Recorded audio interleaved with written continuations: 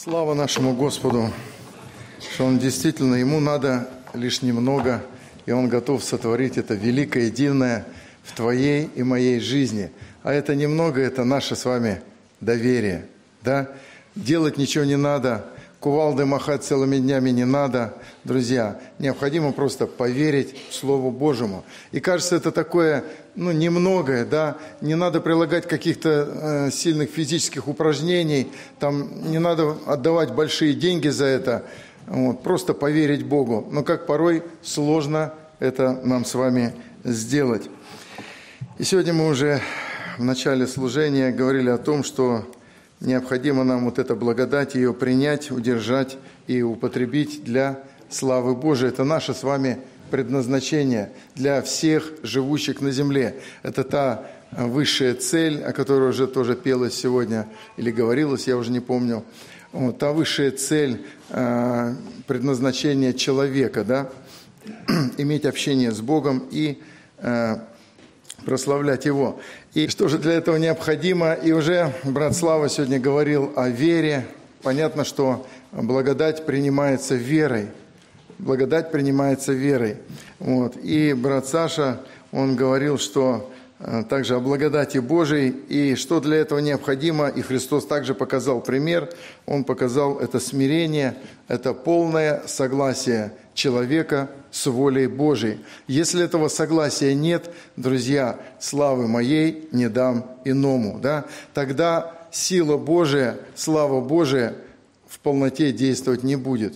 Не будет этого торжества в Иисусе Христе. И мы видим, насколько Он был велик, и насколько Он умолился, и Бог даровал ему эту славу, да, даровал ему свою славу. И Бог желает и также, и чтобы и мы были носителями Его славы, но нам для этого, конечно, как уже сегодня говорили братья, необходимо довериться Ему, необходимо смириться под крепкую руку Божию.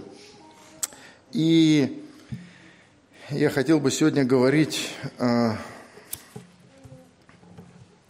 сначала зачитаю текст, потом скажу – это первое послание Иакова, а, это просто послание Иакова, первая глава, а, со второго по четвертые стихи. «С великой радостью принимайте, братья мои, когда впадаете в различные искушения, зная, что испытание вашей веры производит терпение. Терпение же должно иметь совершенное действие, чтобы вы были совершенны во всей полноте, без всякого недостатка». И вот на основании этого текста я хотел бы сегодня сказать, э, что же нам необходимо, э, проходя свой жизненный путь, да? Что, что нам необходимо знать, проходя свой жизненный путь. Потому что вначале написано, с великой радостью принимайте, братья мои, когда впадаете в различные искушения. И дальше идет, зная. Если человек впадает в искушение и ничего про них не знает, не знает про себя или еще про кого-нибудь, да, или про что-нибудь, ему сложно будет эти искушения преодолеть. Он просто в них и останется, да. Мы молимся, и не введи нас в искушение, но избавь от лукавого, да. То есть мы понимаем, что наш жизненный путь, он проходит через все эти искушения. Но апостол э, Иаков говорит о том, чтобы для того, чтобы проходить вот этот жизненный путь, необходимо кое-что знать. И когда не хватает знаний, друзья, тогда ну, сложно. И давайте просто э, обратимся к тому, что сначала э, делают. Сначала человека допускают на рабочее место, а потом его учат. То есть сначала учат все-таки, да, а потом уже практика. И вот для христианина или для любого человека, живущего на земле, вообще жизнь – это очень практичная как штука нельзя назвать, да? А, ну, жизнь очень практична, давайте так назовем, да? Сплошная практика. Поэтому то, того и гляди, какие-то действия, воздействия, противодействия. То есть вот оно реально. На нас воздействует, мы на кого-то воздействуем. И вот, вот она вся наша жизнь. И, она, и наша жизнь-то, она складывается из чего? Из наших слов и поступков. Это наша ответная реакция. Мы принимаем информацию, ее обрабатываем, анализируем и выдаем какой-то результат. Будь то это слово, будь то какое-то дело.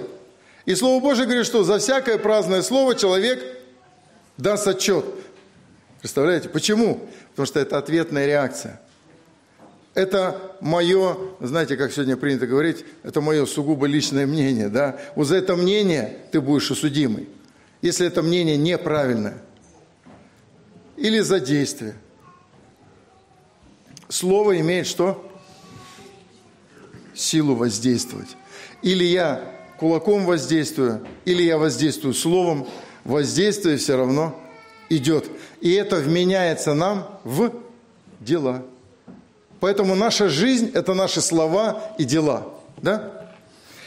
И вот Слово Божие говорит, что нам необходимо кое-что знать, проходя этот жизненный путь. И вот что же нам необходимо знать? Давайте из этого отрывка мы и посмотрим. Первое. Различные искушения. Мы должны это знать. Этот мир лежит во зле. И это зло, оно неоднозначно с рогами и копытами. Да? Это зло не обязательно убийство. Это зло может быть нерасположение, неприязнь, раздражение, гнев. Как вы думаете, это зло? Это тоже проявление зла. И поэтому искушения, они различные бывают. И некоторые люди думают о себе так, что, ну вот я вот, например, никого не убил за свою жизнь. Ну, вроде и как бы этим, так скажем, горжусь, да?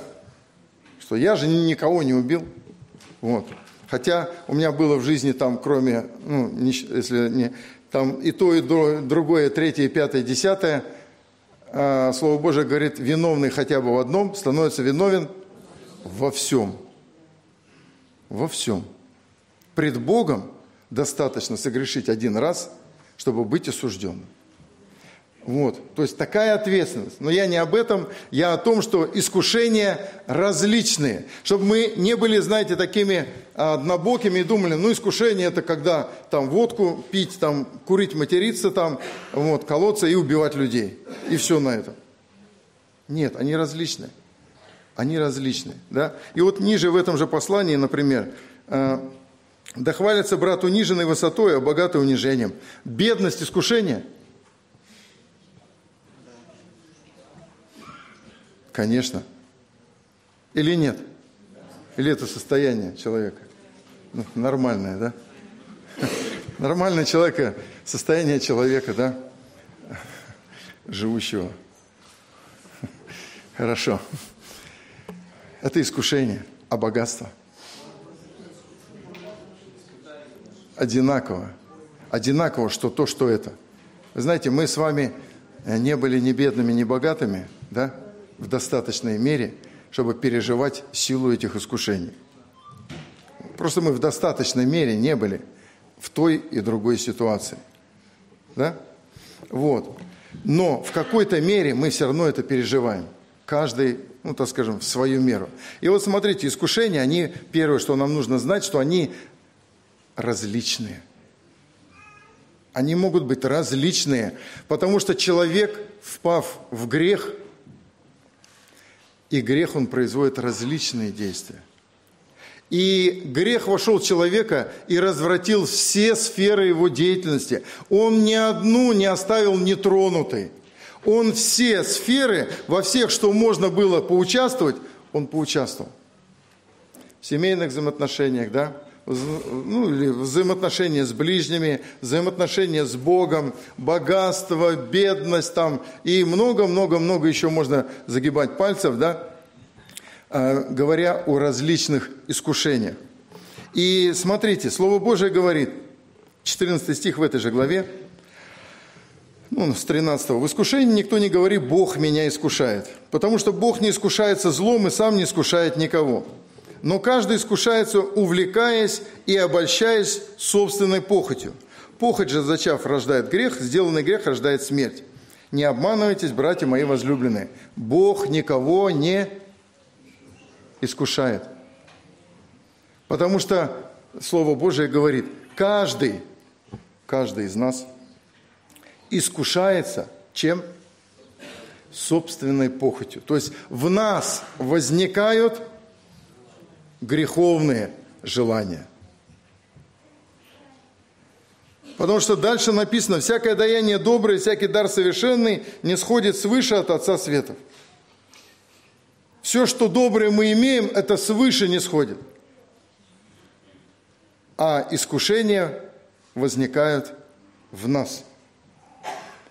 Первый, в ком возникло искушение, это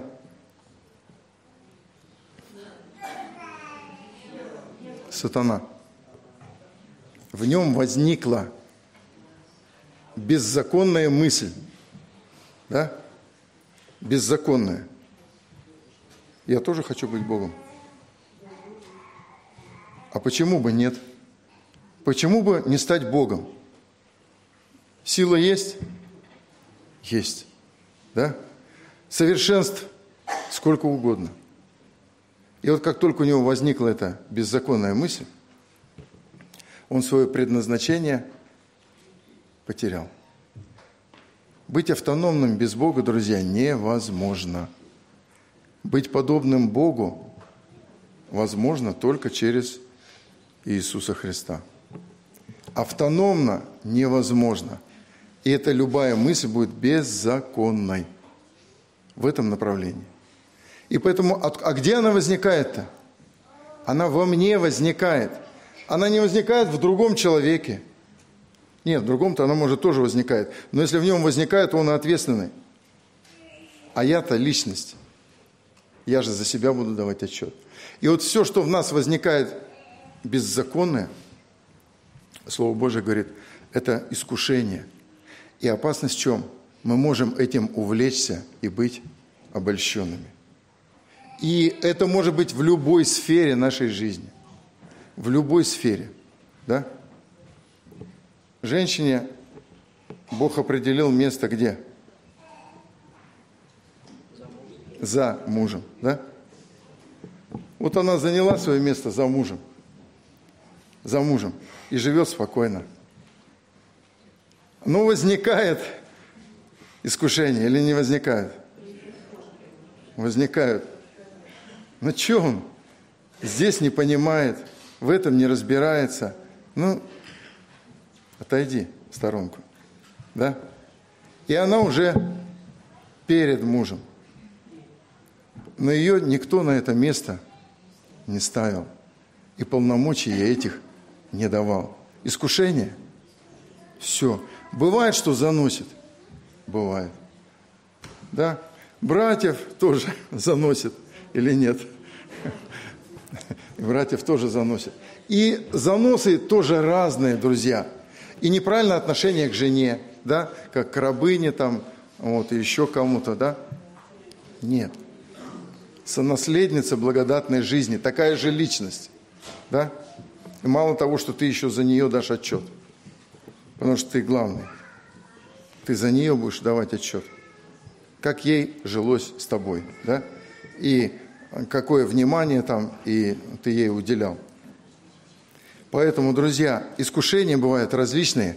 И ввиду различности искушений, вот у нас есть Слово Божие. Оно все это прописывает – для того, чтобы мы знали. Для того, чтобы мы знали. И в Библии описаны все случаи, что является грехом. Да? Некоторые говорят прямо, а некоторые говорят, и учитывая, учитывая, ну, например,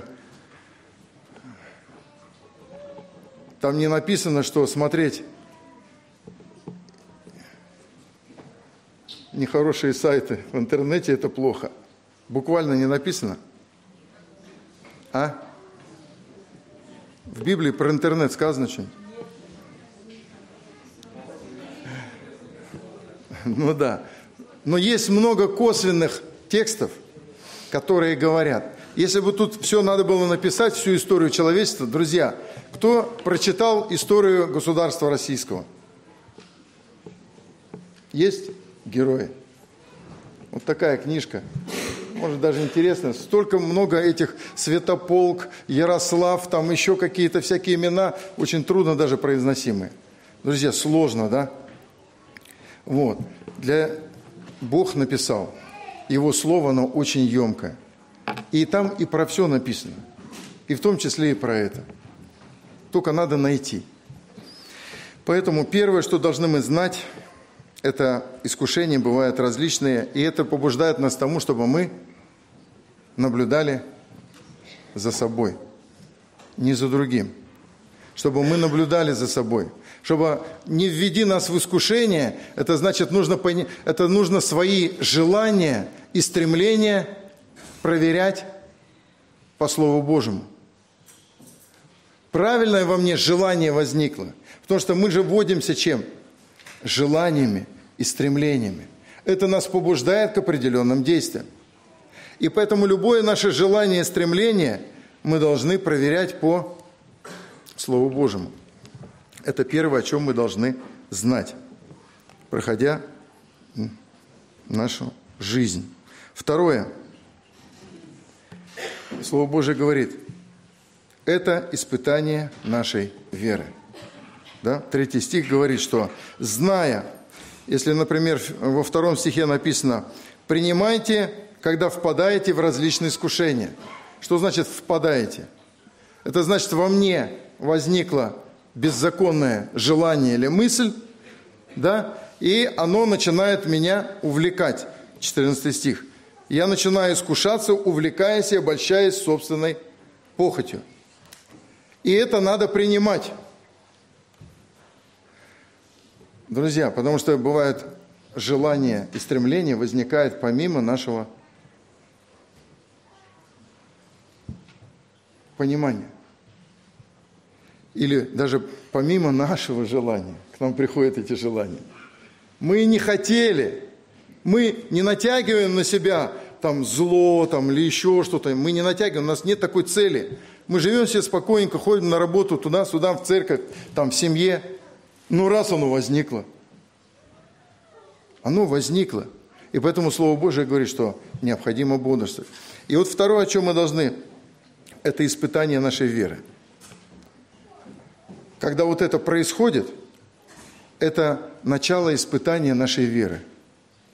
И если мы вспомним, что такое вера, вера – это слышание Слова Божьего. Насколько мы его правильно поняли и услышали. И вот насколько мы правильно поняли, увидели и услышали, друзья, вот настолько и покажет практика – и поэтому Бог все подвергает испытаниям. Ангелов подверг испытаниям. Подверг. Произошло распределение. Произошло. Человека подверг испытанию. Да? Тоже жизнь показала. Жизнь то есть обстановка, то, что мироздание, оно показало, что человек без Бога в одиночку противостать греху или злу не может. И это показало.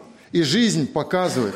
И испытания, вот эти вот, то, что происходит с нами, случаи, какие-то скорби, э, они показывают, насколько мы правильно поняли Бога. И Слово Божие говорит – это испытание нашей веры. Но здесь же нужно еще понимать, что стоит за этим испытанием. И мы читаем, зная, что испытание вашей веры производит терпение. Вот так вот Бог в нас вырабатывает, ну давайте назовем э, значит, другим словом, стойкость. Да?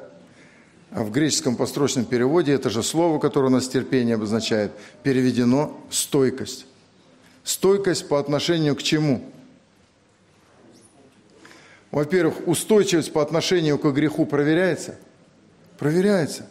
Возникает беззаконная мысль, беззаконное желание, и оно побуждает нас к чему-то, и оно захватывает нас.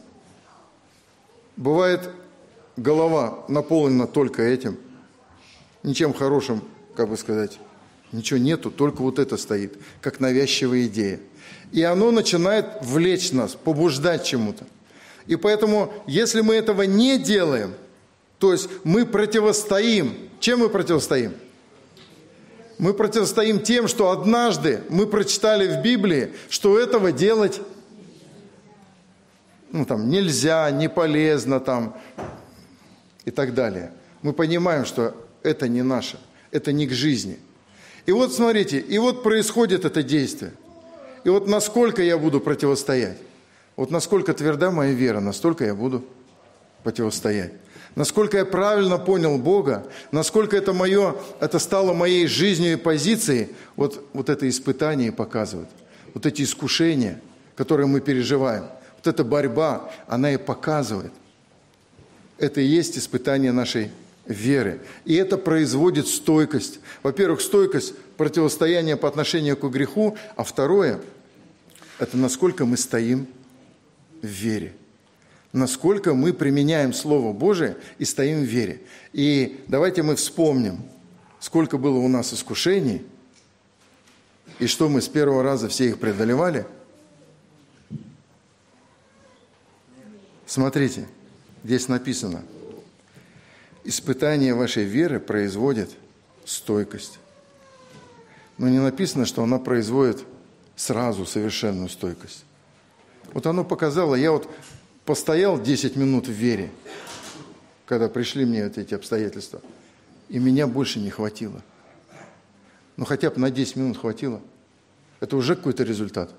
Других не хватало вообще ни на, что, на ноль минут. Да? Вот, смотрите, дальше. Что будет дальше в жизни вот такого человека, который ну, устоял 10 минут? Что будет дальше? Дальше будет, придет опять это греховное желание? Ну как не придет? Обязательно придет. Оно придет, и оно будет опять испытывать меня. А теперь насколько? А теперь, например, на полчаса. Хорошо. После полчаса оно успокоится – Смотрите, Слово Божие говорит, противостойте твердой верой, и тогда все, оно убежит, оно уже больше не прибежит. То есть необходимо достигать чего? То есть принимайте, братья и сестры, искушение с великой радостью, зная, зная, а кто нам покажет, насколько мы сильны в вере? Кто покажет? Мы сами, даже порой не знаем, насколько мы сильны в вере, слабы в вере. Мы себя не знаем. А что показывает? Поэтому с великой радостью принимайте, когда впадаете в различные искушения. Конечно, радости там мало. Каждый это понимает. Ни о какой радости там неизреченной, преславной быть речи не может. Но Слово Божие говорит – с каким отношением мы должны принимать, и написано «зная». Вот если мы ничего не знаем, то мы вообще ничего не понимаем. Мы дезориентированы. Почему? У меня в голове одно, в сердце другое, а на деле третье. И кто я есть на, на самом деле, я даже не понимаю. Я кто? Кто в мозгах, кто вот здесь вот, или тот, кто делает вот эти дела? Я вообще кто? И это дезориентирует человека друзья. И Слово Божие говорит, что если бы я не знал, то я бы, был бы несчастным человеком. Я постоянно в этой дезориентации находился бы. Но Библия нас предупреждает, что есть духовные желания, стремления, а есть плотские, греховные. Духовные – жизнь и мир, а эти – смерть. И для того, чтобы мы усвоили этот урок, нам нужна что? Не только теория, но и практика. И вот мы попадаем в это искушение. Не устояли. Скорбь и теснота всякому человеку, делающему злое. Сделал злое, получи скорбь, тесноту. Воспитание работает. Охота потом туда же. Неохота. И знаете, охоты нету, а все равно попадаешь. Почему? А потому что там не совершенного терпения не показалось. Там не показалось совершенного терпения, поэтому пойдешь еще раз туда. Не устоял, еще раз пойдешь. Опять не устоял. Да хоть, хоть тысячу раз. Хоть тысячу раз. Но если есть прогресс в этом, то хорошо. Если прогресса нету, то это просто показывает меня, насколько я стойкий по отношению к греху и насколько я стою в вере. И поэтому, друзья, это тоже нужно знать, что Бог все равно будет испытывать нас. И Он будет испытывать на различные искушения – на бедность, на богатство, там, э, жену занять место мужа, мужа там еще на какие-нибудь там детей по отношению к родителям, родителей по отношению к детям. Друзья, столько много всяких искушений. Вообще человек – это очень сложный организм. Вы согласны? Вот смотрите, чем сложнее организм, чем сложнее организм, тем он более подвержен чему? Ну, поломке какой-то. Смотрите, одна малейшая там что-то ломается, и все не работает. И поэтому у нас столько поломок грех, так скажем, произвел в нашем, так скажем, естестве. Бог нас сотворил. Это вершина творения, да? И вот столько поломок грех произвел, и теперь надо каждую поломку что? Чтобы я увидел, чтобы она была обнаружена во мне. И вот Бог мне показывает, Он допускает до меня – и во мне проявляются вот такие вещи. И я начинаю что? Я начинаю видеть себя, что во мне действует. И в какой степени, в какой мере. Ну а дальше, насколько я беру Слово Божие и применяю к своей жизни. И вот это называется стойкость. И вот она испытывается, насколько я устойчивый, да, в вере. И поэтому друзья, стоит с радостью принимать, зная, что это реальная картина нашего духовного состояния. Да это просто милость Божия. Слава Господу. И нужно научиться просто правильно принимать это. Осознавать свои ошибки. Осознавать или понимать, на что я способен. Да? Это нужно просто здравым в вере быть. Понимать это и благодарить Бога, что Он нам это показывает. И третье – Третье, о чем нам нужно знать, что через это мы достигаем совершенства. И Слово Божие говорит здесь, в 4 стихе, «Терпение же должно иметь совершенное действие, чтобы вы были совершенны во всей полноте, без всякого недостатка». Было поломано все. Вся полнота была поломана. И теперь Бог что сделает? Он восстанавливает все поломки и делает нас совершенными во всей полноте. И если бы не вот эти искушения, если бы не эти ситуации и обстоятельства, мы бы видели себя, мы бы совершеннее становились, мы бы совершеннее не становились. Друзья, и это наш с вами путь. Это наш с вами путь. И Бог на этом пути, Он приготовил и эти обстоятельства – и приготовил помощь. Приготовил вот эту благодать, о которой мы сегодня говорились. Но если мы идем верой, если мы идем верой, то есть, а мы доверили свою жизнь Богу, как Он поведет нас, мы не знаем. Нам бы хотелось, конечно, там краешком пройти там плодородной землей, там, э, вот в эту обетованную землю, но никак не идти через пустыню. Потому что нам не хочется этого. У нас еще не возрожденное мышление, не, не так скажу, не обновленное мышление. Потому что когда мы проходим вот это, вот тогда мы начинаем понимать, а, вон нас что на самом деле. А до этого мы мыслим только по человеческим меркам, в меру своей испорченности. Вот мы принимаем какие-то, или мы видим в меру своей испорченности. Но когда мы проходим вот эти трудные обстоятельства, искушения, испытания – и после это что доставляет? Мирный плод праведности. И мы теперь понимаем, что вот она праведность-то, вот как надо поступать-то. Я даже не знал, что так надо. Я даже не знал, что для достижения праведности мне нужно пройти через это, через это, через это. Чтобы мне войти в небесное царство, мне нужно таким путем пройти. Но кто бы подумал, что вот эти различные искушения, что они производят во мне. И поэтому Писание говорит. Писание говорит, с великой радостью принимайте, братья мои, когда впадаете в различные искушения, зная, что зная, что искушения различные, что испытания – это есть испытание веры, что испытание веры производит стойкость, а стойкость должна иметь какое действие? Совершенное. Потому что в нас этого совершенства нет. В нас его нет. А как оно появляется в нас, совершенство? Когда мы понимаем, что в нас его нету, мы что начинаем делать? Неверующие люди начинают ругаться, проклинать там и всякое разное, и матами. И... Верующий человек начинает молиться. Он начинает призывать, говорит, Господи, да у меня же этого нету. Господи, дай, дай. По-другому никак. Вот ты дашь, будет. Если ты не дашь, где я возьму? И он начинает молиться. И чем сильнее он начинает молиться, тем сильнее подходит искушение.